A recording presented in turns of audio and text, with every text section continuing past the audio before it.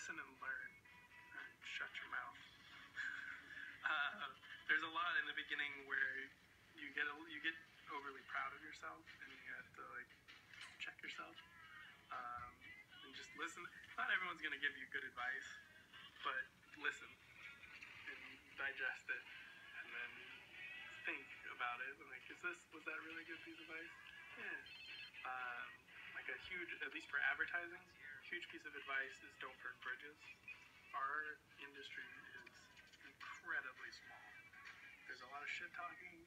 Um, there's a lot of people that hate other people. There's a lot of politics, but it's incredibly small. Watching everything that comes out, whether it's TV, movies, if it's a new app, if it's new that, it, it's it's a technique and it's a tool for your arsenal.